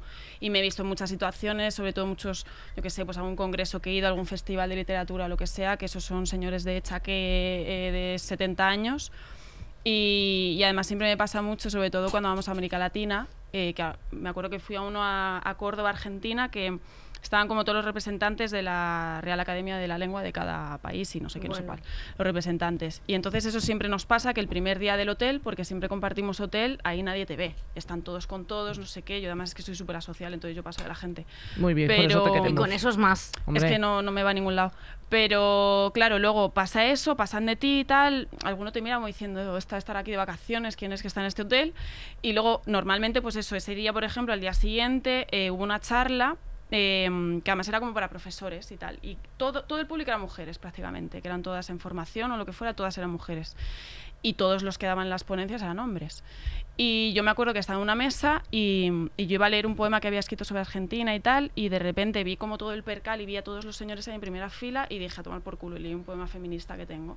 Y dije, porque es verdad que es algo que intento hacer siempre que me dan un espacio, digo, yo lo aprovecho y además a lo mejor en tu casa no me quieres escuchar esto, pero aquí no te queda no otra. te vas a levantar No te porque queda queda feo. otra, claro. Pero bueno, Y eso Ponerles entre la espada y la pared es muy importante, es. que se sientan muy incómodos. Eso Claro, es. y fue muy guay porque la gente ahí, claro, como casi todas eran mujeres y en Argentina el tema feminismo es la hostia, pues se levantaron todas a Yo ya era como en plan de para allá, para allá. Y fue muy guay, la verdad. Entonces tienes esos momentos y luego, claro, al día siguiente ya te miran de otra manera en el hotel. No te, no te miran tampoco como eres uno de nosotros, siéntate, pero sí te miran como... mira la niña. Es que tenemos que Mira entender que nunca vamos a ser uno, uno de ellos. Esto Mm. es así. y, pero no hay... y genial. y genial. ganas, ni pero que no hay nada más horrible que además el ego de un hombre, eh, del, del hombre cultivado. Quiero- me explico, Sí. quiero decir que es muchísimo peor el ego de un escritor, de estos que escriben artículos, que son- bueno, yo qué sé, toda esta gente, ¿no? O sea, que, es, que al final dices, pero, pero mm, ¿por, qué, por, qué, por qué sois así? Y esta, y esta gente no ve más allá. Yo no, No, creo que esta gente cambie nunca, porque entre ellos se alimentan y que quedan entre ellos Mm. y, y- y todo como que es, es una cosa como súper endogámica a la que las mujeres no tenemos acceso, No. pero son absolutamente insoportables. Pero y luego es eso que tampoco hacen como un una autorrevisarse, no, no hay un momento de, de pensar en sí mismos. O sea, yo, por ejemplo, con el tema de, del ego, eh, o sea, a mí lo que me cuesta, me pasa una cosa muy parecida a, a Elvira. Yo trato muchas veces de buscar explicaciones que no me impliquen mucho para yo sentirme bien. O sea, por ejemplo, nuestro show, yo cuando quiero estar tranquila digo, bueno, vienen a ver a Victoria, a ti no, así que a poco que hagas, de puta madre. Y yo con eso... Pues tía, eso es... Ya, ya, pero a veces es una cosa tóxica y fea. Me funciona. Eh, cuando no lo pienso, cuando pienso, vienen a verme a mí, eh, me cago en, el- en las bragas. Entonces digo, bueno, entonces pienso eso para quitarme valor. Lo que pasa es que, claro, me falta la parte de, o sea, de como de creértelo, de disfrutar. En plan, yo sé Sí. que puedo hacer cosas Y que te tengo seguridad ahí, en que puedo hacer esas Sí, cosas, pero a la vez es como que, de alguna manera, no, no, creo, no me creo las cosas que ocurren. O sea, Sí. ¿sabes? O sea, es como ese Pero hay proceso... como que transformarlo realmente. Claro. es- Estar tranquila en el escenario y pensar que si la gente ha venido a verte es porque te lo mereces y porque no tienes ya nada más que demostrar porque ya lo has demostrado. Sí, eso me lo dice mi psicóloga, pero Eso estamos no se ello piensa, todavía. eso, claro, que no se- se piensa nunca. No he llegado a ese punto. ¿Tú, Vicky, con eso? Yo, Eh, eh, yo tengo un ego muy grande, tú lo sabes. Es que es mentira, Que porque tú dices eh, que Elvira y yo somos sensibles, pero tú eres igual eres de sensible sensible, e igual ve, de frágil que nosotras. Lo que pasa es que dices culo, pedo, no sé qué, Claro. cuando Sí, quieres Tienes como tu coraza, cubrir. pero se te ve. Claro, no, no, Hombre. yo soy una persona sensible, pero sí que es verdad que el ego, yo es una cosa que tengo que sin existir. Yo no tengo ego casi. Ya. Hay veces que a veces me dan como ramalazos de estrella. Nacho lo, lo- de- dice que sí. A veces me Sí. dan ramalazos de estrella y creo que todo el mundo esté como a mi servicio. ¿no? Que a veces digo, joder, eh, mamá, eh, planchame esta camisa. No, por supuesto que no. Pero a lo mejor puedo decirle, Nacho, no sé qué, o esto, Eres un llévame. poco dictadora, Soy ¿no? un poco dictadora. Claro. Pero, pero que realmente luego eh, es propio de la, de la inseguridad que tengo enorme. Pero sí que eh, sí que es verdad que, que- que estos tíos que lo hablamos el otro día en un grupo que tenemos de plan, con Enar Álvarez de planchar. De planchar. De planchar. Madre que, mía, nos pusimos finos. eh, los típicos tíos que son los que tienen los cojones de decirte es que ahora si eres mujer en comedia y en todos los ámbitos, porque eso se traslada a todo, lo tienes chupado, porque ahora el feminismo está mucho, de- mucho más de moda y lo tienes chupado. Pero nunca se cuestionan, es que eres malo, tú, tú, tú, tú, Juan Ramón. No yo, y no es mi culpa. Quiero decir, o sea, que a nosotros nos ha costado muchísimo. Sí, aparte esto sigue funcionando por cuotas. Si me dices que es todo tías, pues te digo, bueno, pues habrá que revisar, a lo mejor, pero es que no hay que revisar porque hay una. Sí. Una, eh, es- vamos, en, cada portal de Belén, te lo digo, Sí, y en yo algún que- sitio ninguna. Que al Entonces, final, sí. Y todo el mundo es prescindible. Quiero decir que ellos se creen que muchas veces mucho tal tiene mucho ego, pero todos son prescindibles. Esto le pasa. eh, y también como que se creen con el derecho como a hacer lo que les dé la gana. Porque, por ejemplo, leía el otro día que eh, Lucy Liu, cuando hizo Los Ángeles de Charlie, que es una de las mejores películas que se han hecho nunca, Totalmente. la primera. Luego la de Kristen Stewart ha estado regular. Eh, pero es verdad que la primera, Bill Murray era Charlie, ¿vale? ¿Tú no te acuerdas de esta peli, Susi? Bueno, y entonces Bill Murray Sí, estuvo todo acuerda, el rato seguir. estuvo todo el rato diciendo a Lucilio que vaya mierda tricera, esto en el rodaje, que vaya mierda, que lo hacía fatal, que ella era un mojón, que, bueno, insultándola muchísimo. Que también te digo, teniendo a Cameron Díaz al lado, joder, decírselo a Lucy Liu, aunque no se lo tienes que decir a ninguna. Pero el caso que la, la segunda película, que como la petó tanto la primera, la segunda película, Lucy Liu dijo que si está Bill Murray, yo no, no, no estoy. Pero como- y claro, al final pues Bill Murray ya tuvieron Hasta que luego. decidir y se quedaron las tres. Pero que tienen como que al final eh, hemos construido una sociedad de cultural que es el hombre absolutamente monopolizando todos los espacios. Hombre, claro. Es que yo creo que a ellos les basta con hacer algo bien una vez y eso ya se mantiene de por vida. Ya no tienes Sí. por qué hacer una más. Y nosotras tenemos que demostrar todo el rato. Que hacerlo todo bien, todo Total. perfecto. Si fallas en algo, sacas de repente un libro que no funciona o haces un show que no lo peta, ya, ya no, ya a la siguiente. Eso es y verdad. ellos hacen uno que lo petan y ya para siempre. Y la- literatura es muy así. La ansiedad, eh, em, que es un tema que yo creo que va con el proceso creativo de la mano, Sí. eh, ¿cómo, ¿cómo la gestionáis? Pues con mucho trabajo. O sea, yo es que empecé con la ansiedad hace unos años y no fue por algo de curro, fue una ruptura que tuve muy, muy fea, que lo pasé muy mal. Entonces ahí fue cuando yo tuve mi primer ataque de ansiedad y pensaba que me moría.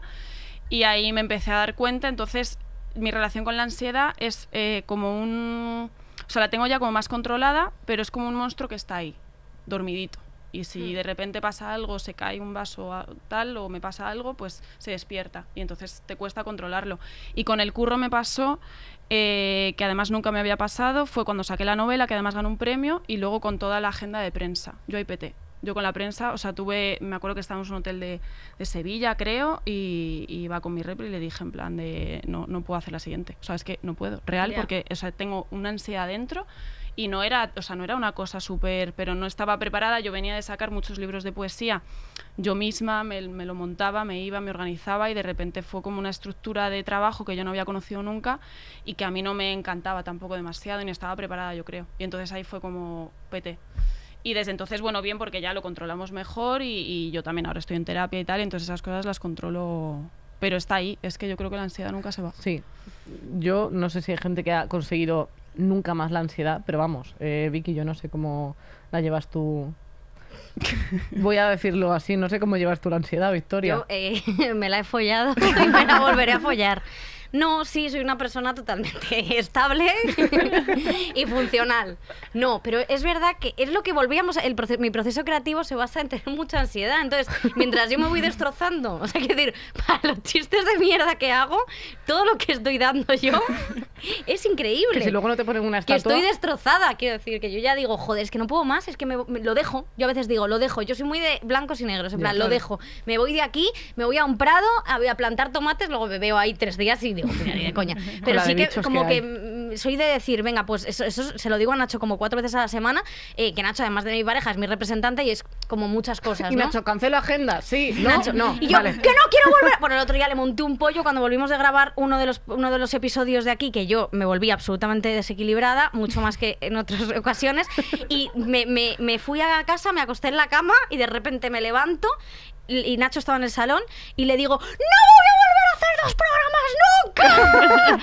Eh, solo voy a hacer uno porque no puedo más, porque yo lo dejo, yo me voy, me- te quedas aquí con el chiringuito a ver si levantas esto, no sé qué, bueno, en fin. Yo le monté Y un Nacho pollo. luego puso, eh, chicas, hemos hablado Victoria y yo y mejor que haga- hagamos un programa solo grabando. Y yo en la cama así, como una niña poseída. O sea, una camisa de fuerza, Nacho. Y la cosa esa que le ponían al. ¿Cómo se llamaba ese? El Como una sitio de los máscara de corderos. sí. yo así, ¡que no hago dos programas más! ¡Os odio, os odio! O sea, sí. ¿No? Y entonces ya, pues ya se me pasó porque me desmayé. y ya cuando recuperé la conciencia, estábamos eh, como David, como el David. Tony cantó este que hacía lo de siete Desperta- vidas despertaste de un coma. desperté de un coma y ya pues como que vuelvas a reactivar y ves las cosas de otra manera. Pero a mí lo que la ansiedad me, me nubla es un poco el juicio de no sé qué voy a hacer mañana. O sea, como que me nubla mucho. Claro, Pero, y es verdad que el momento entorno, horror, ¿eh? porque yo, por ejemplo, sí que lo sufro mucho también, pues eso, en casa. O sea, como que exteriormente, la Sí, verdad es que sí, estoy en un punto en el que también me puedo volver mucho a mi casa, que antes, claro, yo cuando trabajaba aquí, pues yo en la terraza de, de prisa he ido a llorar un montón de veces. y No a te los baños de también. milagro. Hombre, porque caían otras, si Y no... Hacías rappel. Tenía que ver, tenía que ver. Yo decía, ya verás como me mira. quedo, me quedo mal y, y no hago nada. Solo me rompo un pie y hago una performance y viene Tony Aguilar a salvarme. Bueno, Uy, Tony Aguilar, por favor, qué buena persona es esa. ¿Cuántos número uno, eh? es que esto lo vamos a cortar. Entonces, Sí, sí, que me cae genial, ¿eh? Un beso para él. Ay, perdón, lo siento que me sale la, mal- la maldad, pero esto lo contamos tú sí. Em, que, que eso, que ahora que puedo estar en casa y llorar, por ejemplo, yo a Lara le doy una turra Claro. muchas veces, la de llorar en plan. eh, Niña pequeña de me acurruco en tus brazos Mm. y quiero llorar y, y no quiero hacer nada y ella no tienes que hacer nada que no quieras y yo, ya, pero tengo que vivir, no sé qué, o sea, unos, unos llantos y un aguantar cosas que digo, o sea, la parte de nuestro entorno ¿A ¿Tú a tu pareja la tienes frita? Eh, está aplaudida, o sea, a ver, eh, dice que sí, Sí. pero que así un poco A para los ver, lados. en la parte Sí. personal sí, pero también es mi representante, entonces en Claro, la parte oye, profesional ¿cómo está llevas feliz. esto, eh? claro. Yo lo llevo fenomenal. Yo lo llevo de puta madre, sí. O sea, nosotras a veces preguntamos a gente. De hecho, cuando lo has dicho, digo, luego te pregunto. Sí. Yo lo llevo bien, ella no lo sé. Es que yo creo que habría que preguntar a las otras. Eh, dice que regulín. Es que, ¿y Nacho qué Nacho dice? está escuchando Radio María, que ahora no, no, no puede estar a este tema, que está muy cansado. Pero, y claro, pero al final supongo que es mucha carga emocional de las dos partes. A o sea, ver, que es claro, es trabajar que juntas más. me tiene que gestionar ella a mí más que yo a ella, está Claro, claro, porque al final como esté yo personalmente puede afectar al trabajo y ella así como mis neuras, pues como tú decías de antes, pues yo tía. decirle que no hago más entrevistas y ella en plan de y yo que no hago más entrevistas, que no quiero, que ya está, está y entonces pues claro que lo gestione. Entonces, tía, eh, claro, aguanta mucho, pero bueno, también Ya. me estoy pagando una psicóloga para descargarle un poco. Oye, Claro, pues eso sí, está sí, fenomenal, total. es muy importante. siempre lo Eh, decimos. Oye, yo quiero eh, ah. comentar una cosita ¿Qué? eh, del tema de la copia. Ah, ¿Te han copiado alguna vez algo? Eh, sí, pues ya está, siguiente. Lo Sí, ¿no? matamos. Yo creo que es fácil, o sea, frases y tal, te las ponen, te- de repente veo camisetas, que yo, nosotras tenemos las camisetas, pues veo camisetas también con frases que es como, Que son fuerte. tuyas. claro, sí, sí, que no, no preguntan o... Qué sí. fuerte, Y luego tía. pues inspiraciones demasiado evidentes también. Que a lo mejor cambian una coma. Sí, o el género, ¿no? Esas cosas. Ah, Bueno, del ya, claro. género. Del Sí, porque género además sí. es que copia y misoginia, las dos cosas. Y Todo lo homofobia. que nos gusta. Bueno, claro, es Sí. que es muy fuerte. A ti te han copiado también. Eh, yo es que creo que realmente el momento copiar como tal, como, o sea, eh, es que no, no tengo como cosas que sean mías. Yo me acuerdo, es una chorrada, ¿eh? Pero hay muchas veces que tampoco puedes demostrar que eso es tuyo. O sea, en el caso de Elvira también es como que... Claro, no eh, sabes- Son cosas que tienes escritas, Sí. publicadas y tal, pero otras veces es como, por ejemplo... Claro, tía. eh, yo La qué sé, manera de claro, la manera de decirlo, la forma de hacerlo, las expresiones, cosas así que dices, el bueno... estilo, ¿no? Sí, el, el- estilo y tal. O sea, yo en general eh, no- nunca he sentido que me hayan copiado descaradamente y si lo he sentido se me ha olvidado porque es una cosa que me enfada mucho. Porque yo me identifico mucho con... Hay un vídeo de Bustamante en el programa de, de Mercedes Milá. Creo que era, que fue a un mantero y le dijo, perdona, esto es mi trabajo. Y le coge el CD y le dice, es mi trabajo. Y el otro, "Eh, cinco euros, perdona. Y el otro, "Perdona, ¿usted quién es?". Es mi trabajo, no sé qué. Y toda la gente así. Y, y él diciéndole a los señores, mira, es que esto es mi trabajo. Y la gente en ¿quién es? Y, y- ¿pero esa mierda? Yo ¿Qué voy es a? Javier, lo siento. Hombre. Eh, entonces, como que yo con eso me identifico mucho, pero a la vez eh, intento como que estar zen. Chill, ¿no? Y me acuerdo que había un cómico, o sea, cuando yo era súper fan de los monólogos a los 14 años, algo así, que veía un montón de monólogos, había un cómico que copiaba eh, a- como el texto a muchos cómicos españoles. Y entonces habían hecho un videomontaje de él, o sea, calcando bloques enteros y los fans Sí, suyos decían sí, que él lo hacía con más gracia. O sea, que lo que la defensa era que él lo hacía con más gracia. Decía sí. lo mismo, pero decían que era con más gracia. Y era como, bueno, Yo creo que puedes inspirarte, porque evidentemente yo, tengo, yo me inspiraba muchísimo en Sarah Silverman cuando empecé, me inspiraba en no sé qué, gente que me gustaba mucho, te inspiras porque hasta que encuentras tu voz. Claro, es que Una vez que encuentras tu voz, tanto a nivel literario como a cualquier nivel artístico, yo creo que eso es imposible vivir de eso si tú estás copiando a alguien, es que es imposible. es que te Pero vas es que formando. se nota además. O sea, y, y que la gente tampoco. La gente no es tonta. O sea, la gente se da cuenta. ¿Qué ha pasado con la. Eh, la Love Jolly no ha copiado Es la verdad. esta de las tortitas o no sé qué. O ¿Qué ha copiado? Sí, ¿Qué como había que hecho? yo algo vi que alguien alguien compartió. No sé si es la cuenta esta que me hace mucha gracia, hazme una foto así. Ah, sí. Que creo que ella ha sacado como una marca de... De camisetas. tar- no, de tartas o de bizcochos o no sé Ah. qué. Y esta chica decía que era igual que otra, que es que además era idéntico como todo el perfil de Instagram, no sé qué, no sé cuál. Y entonces la gente ya lo estaba diciendo y no sé si la otra estaba borrando comentarios o qué Ay, estaba es que. Love Yoli tiene muchos problemas. Tiene- sí, tiene un pero background. Empecé contenido. Uno enorme, que es el novio ese que se ha echado, que es ese- un, un problema de 89 kilos. Es Eh, complicado. Pero sí que al final es como eso, sí, cuando la empiezas gente sí se que da te... cuenta, yo Sí, creo. yo creo que es Hombre, eso, que la gente se da cuenta. A ver, también te digo, nadie es- digo, Love Love Yoli o Yoli, lo de la marca, tío, el Light Collection que hizo. Bueno, eso no copió. Eso que eso robó de AliExpress y lo ponía a 40 euros y, y saca una caja abollada y pone mi nueva marca Light Collection que viene con una nota de, de Comic Sans Escrita eso... en su puño y letra. Bueno, es Y que las tiene- risas que nos echamos. Bueno, esa Pues risa. eso Es que lo Yoli para mí es increíble. Es increíble. Yo creo, yo creo que al final la gente es eso, la parte de que te formas a ti mismo, como no copiando, pero sí inspirándote. O sea, yo cuando me, me- me quería dedicar a hacer monólogos, yo lo que Sí, hacía todo el rato era, eh, eh, por ejemplo, Luis Piedrahita me encantaba y yo hacía el mismo- la misma estructura, Sí, en sí. plan de, como él hacía monólogos Claro. de cosas pequeñas, yo pues voy a hacer con 14 años un monólogo sobre el boli. Y yo ahí, un folio, tal. Un monólogo sobre el tipes, otro folio, tal. Un monólogo de que no Las tengo amigos, pequeñas, ocho folios. Claro. cosas pequeñas no. Bueno, yo qué sé, pero era su Sí, estilo. era luego su ya estilo y haces luego- tu movida. Tampoco voy a estar hablando de cosas claro. pequeñas infinitas, Yo, ¿sabes? Pero bueno. eh, quería comentaros una, una cosa de copia que ha pasado, sí, que ha pasado y, la- y lo hemos olvidado, que es el momento que Ana Rosa copió su libro. Es verdad. Bueno, no, Ana- no ¿a lo ¿Quién le copió. Bueno, esperad, que esto sí que lo, me lo copió. Se lo Se escribieron. lo escribieron. ¿no? Claro, Ah, pero, pero, pero, eh, mira, solo sacó con la editorial Planeta, eh, que me acuerdo, y además que lo he investigado, lo he investigado aquí, que se llama Sabor a Hiel, el libro. Y ¡Qué bueno! Sabor a Hiel. Por sabor a ti. por sabor a ti. Joder. Y entonces, eh, joder, lo que pasó fue que eh, una, una lectora vio que había muchas cosas, co- muchos pasajes iguales que los de Daniel Steele, que es una escritora estadounidense así como de novela mucho erótica. en las estaciones de Renfe. Sí, que, porque es una cosa, le encantaba a mi abuela, Daniel Steele. Claro. Y... Y el caso que ella, cuando le dijeron esto, ella dijo que es que se le va muy mal eh, lo que es el ordenador y que sabía algunas cosas que se le habían quedado copiadas. Esto lo dijo en su programa. Que algunas cosas que se había liado y que lo había dejado copiado.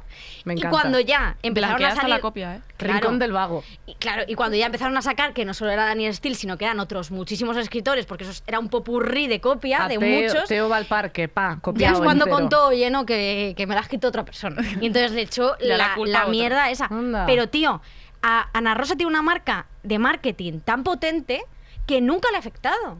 No le ha afectado si la le- copia. no le afecta nada. No le afecta No, nada. Es, que- in- es Iron Woman. Es que ha dicho abiertamente que es facha, o sea, ya realmente Sí. le falta eh, decapitar a una persona para que alguien diga, oye, esto igual está un poco mal, ¿no? Y Claro, pero Ana Rosa salió ilesa de toda de Eso lo hizo Pablo conflicto. Motos con Dani Martín precisamente y no pasó nada. ¿No os acordáis que, Que lo le- decapitó. lo decapitó, se fueron anuncios y se lió pardísima? Y Es luego verdad. volvieron y era una broma. Sí. Victoria estaba ahí con los dedos cruzados. Yo pensaba que no sabía que le habían decapitado. Bueno, pero nada, pues- luego al final era una bromita. Eh, o sea. Oye, eh, quiero hablar de una cosa final que yo no Sí. sé si a vosotros os, eh, os pasa, el tema de la procrastinación.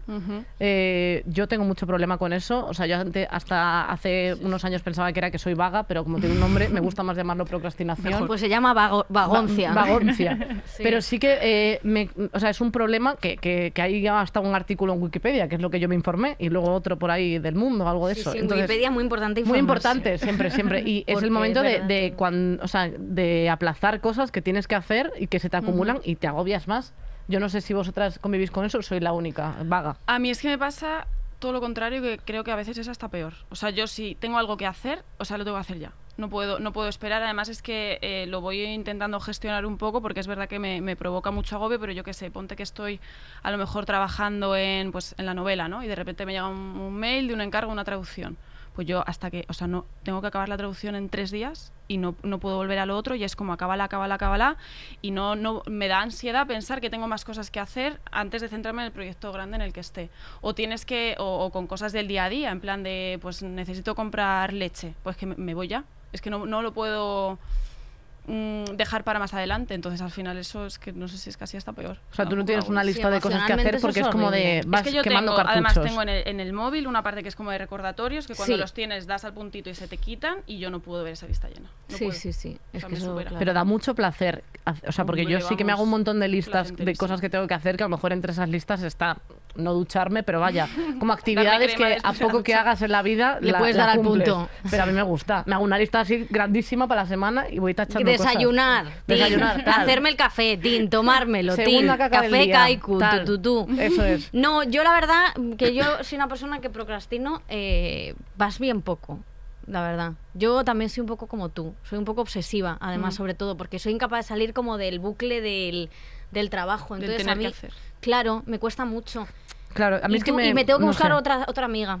Fíjate lo que te digo, porque eh, hablamos mucho de trabajo tú y yo. Es que es Entonces tenemos que irnos... Pero mira, la semana pasada quedamos Sí. y se habló de trabajo. No, No. porque se ha hablado de los demás, se criticó. Por eso, Eso es muy importante criticar a los Totalmente, demás. es que si no al final te lías, te lías, pero Sí. es verdad que el tema del trabajo al final es que se está todo el rato en tu movida. Y a mí lo que me pasa al procrastinar no es que yo me vaya a jugar a la Play, es que yo estoy delante del ordenador perdiendo el tiempo, o sea, empezando un poquito con algo, luego me acuerdo que tengo que hacer otra cosa, entonces como que estoy así y a veces es como de, vale, Sí. para, deja de cambiar de pestaña, ¿sabes? Quédate aquí y haz la movida, pero Sí. yo pierdo mucho el tiempo, eh, me distraigo mucho. Y o me tenemos tal. que. Yo creo que tenemos que empezar a exigir eh, a la gente que lo haga por nosotros. O sea, tener como alguien que contratado. ¿Sabes? Que nos haga todo el trabajo nosotras y tratarle fatal a esa ¿Quieres que persona. es que es el momento de empezar a tratar mal a la gente. Sí, como Ana Rosa, Vale. que tiene a todo su equipo cojonado, que entra y están todos Dios, Ana Rosa. ¿Te acuerdas en el diario de Prada o en el diario Vista de Prada que llegaba Meryl Streep y las chicas como que se ponían a pintarse, Sí. no sé qué, se ponían los tacones y están todos acojonados? Eso es lo que tenemos que ser nosotros al llegar a la radio. Hombre, vamos a... Y, y Julio en plan y decirle, los morros. he dicho que me dejes el informe de una vez.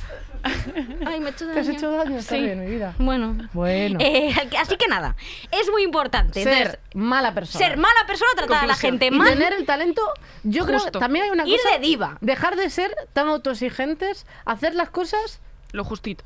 Mm, normal. Que sí, que no hace falta Porque nuestro normal es un muy bien para la gente. Hombre, pues sí, Claro al que final. sí. Es pero si verdad que luego a la gente le gusta cualquier cosa. Si somos un éxito. Es- Elvira sí, pero nosotras. Bueno, somos pero un Pero poco cuadro. vosotras aquí tres vueltas, ¿eh? No, Que- no, pero no, por favor, Elvira. niña. Tú eres Hombre. una rockstar eh, de Cinco la minutos nos duraron las, entre- las entradas. Bueno, Eso es verdad. Eso es verdad. y en pero, Valencia también. pero no ves mi explicación es porque se han confundido. Sí. Eh, porque pensaban que éramos Mayumana. Sí, eh, eh, estamos nosotras ahí tocando tambores. Yo lo voy a hacer por si acaso. Sí, bueno, pues. Eh, yo creo que esa es la conclusión. Yo creo que conclusión eso, porque sí, porque si, yo qué sé, si la gente, luego los tíos pueden tratar fatal a sus, por ejemplo, los directores de cine, en plan Woody Allen y todos estos, que luego tratan a todos los... A ver por dónde vas. A todos los... No, no, no.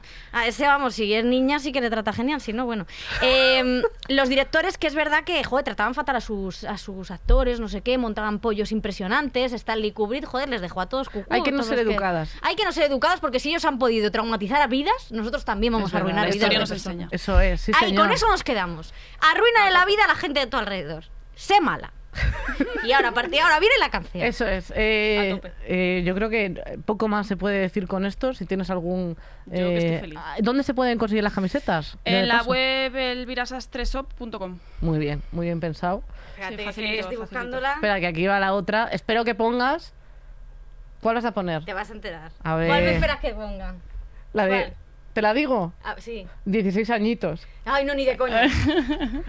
La pongo yo. Jo, que me estoy, que estoy sudando, de verdad. Ahora Venga. mismo, ahora mismo. A ver. Mira. Dale, dale. ¡Ya está! Esta no la hemos hecho nunca. Pero ahora hay instrumental mucho rato. Ah. Ay, no, que- Sí, hombre, claro. Soy DJ también. Soy Ah, Sofía Cristo. Ahora viene, ahora viene, mira. Santo, arrasando por la vida. Muchas gracias, Elvira Sastre, por vosotras, chicas. Gracias a la gente por escuchar. Gracias a Talía. Te queremos, a la de OT también. todas nos vemos la semana que viene. Gracias. Arrasando por la vida, cosechando. Venga, Dalía, vete a tomar